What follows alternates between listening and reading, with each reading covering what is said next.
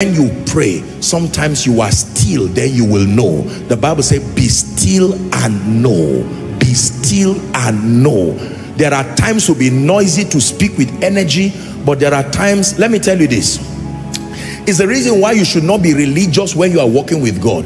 You can go to the place of prayer and shout for one hour and suddenly a grace comes upon you and you don't have the energy to shout again. Don't fight it.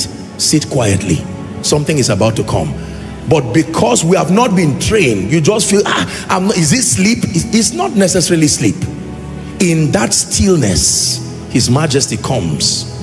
A scripture comes. A word comes an instruction comes check a youtube video an instruction comes check this scripture an instruction comes read this book sometimes the instruction can just come as the name of someone the name of a sermon even if it's a sermon you've listened to before you finish praying for hours struggling your rent everything and whilst you are seated there a testimony you had one day in koinonia just comes to your spirit. Is how god speaks this grace called favor and it becomes strong upon your heart. God is saying listen there my voice for you is in that sermon.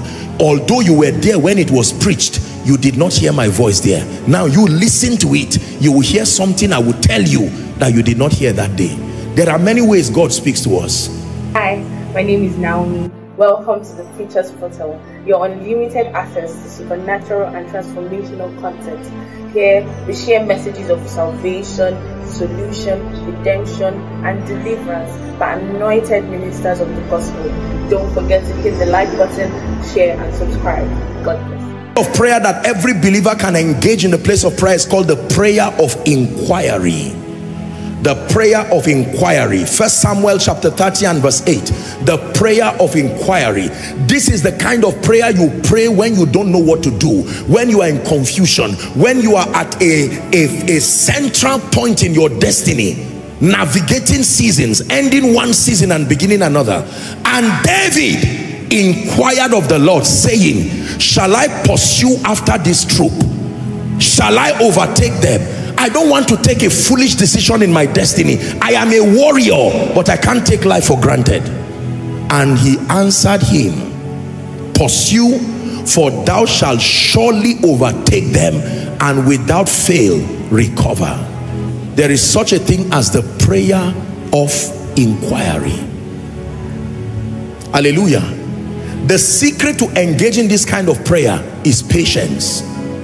Patience patience god speaks but he's not always speaking. Hear me koinonia. God speaks but he's not always speaking. You were created in his image. You speak but you are not always speaking. Most people think god is a talkative who is just talking and just tune your radio you hear him. Is a lie. Human beings are not like that. God is not like that. You would hear the bible say on the fifth day of the tenth month the word of the lord came. The word of the lord came he says until his word came the word tried him. Yours is to be patient. Are we together? It is the absence of this prayer that has caused pain in the life of many people. I will tell you why. There is a way that seemeth right unto a man. There is a way. There is a job that seemeth right. Are we together? There is a country that seemeth right unto a man there is a local government that seemeth right. There is a state that seemeth right. There is a business that seemeth right. The bible says but the end thereof are the ways of death. Father should i pursue? Should i pursue? This door is open before me but should i pursue? I have taught you don't just enter doors carelessly because they are opened. Find out who opened it and find out where the door is leading to. Because even the prison you enter a prison through a door so that you don't see a door open and you say thank you jesus. You enter and find out that all that are there are walls and you can't go back again. Prayer of inquiry.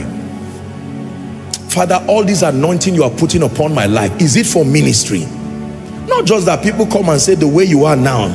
I'm surprised you are not yet a general overseer. You say you mean it? Tell me more. Say this everything is on you. Is written general overseer you now go and open a ministry and you will be disappointed. Nothing respects you. Not men not spirits not demons. And you'll be wondering oh god what am i doing? After five years of struggle god will say you've been on your own. I've been trying to tell you. But every time you go to pray you don't allow me speak. You speak to me and walk away. As soon as you are done telling me what you want to say amen and you are out. You are as you are saying the amen you are closing the door. The prayer of inquiry requires patience. Number two the prayer of inquiry requires silence. When you pray sometimes you are still then you will know. The bible says be still and know. Be still and know. There are times to be noisy to speak with energy but there are times let me tell you this is the reason why you should not be religious when you are walking with God. You can go to the place of prayer and shout for one hour and suddenly a grace comes upon you and you don't have the energy to shout again. Don't fight it. Sit quietly. Something is about to come but because we have not been trained you just feel ah I'm not, is this sleep it's not necessarily sleep in that stillness his majesty comes a scripture comes a word comes an instruction comes check a youtube video. An instruction comes check this scripture. An instruction comes read this book. Sometimes the instruction can just come as the name of someone the name of a sermon. Even if it's a sermon you've listened to before. You finish praying for hours struggling your rent everything and whilst you are seated there a testimony you had one day in koinonia just comes to your spirit. Is how god speaks this grace called favor and it becomes strong upon your heart. God is saying listen there my voice for you is in that sermon. Although you were there when it was preached you did not hear my voice there. Now you listen to it. You will hear something i will tell you that you did not hear that day. There are many ways god speaks to us. Because our hearing are in levels. Are we together? There are times that people become too noisy. God cannot even tell them anything they finish talking to god and then they close the door their spirits are too noisy even their dream life cannot be an opportunity for God to minister to them. I have a teaching series, uh, you know, supernatural experiences, dreams, visions, trances. I will teach you. Because most of you, that thing you are calling a dream is an attack. Notice everything you have been seeing. When you stand up and do it, it gets you into trouble. Everything you see as an instruction in the dream, you act upon it, you either have a problem with police or have a problem with people. It's an attack. When God speaks, he speaks peace when you get instructions in the realm of the spirit that continue to cause you trouble perpetually you can measure the voice of God by the peace and progress it brings which is what most people don't have don't just wake up from a dream and act everything you saw there no there are rules for both interpreting and acting on dreams and the central rule is submitting everything to the word of God. Apostle boy I had a dream. In the dream I gave somebody my car. Hold on. Before you part with your car and now get into trouble don't assume it means God says you should give the car. We need to measure the spiritual life of the person who had the dream first to verify what you had.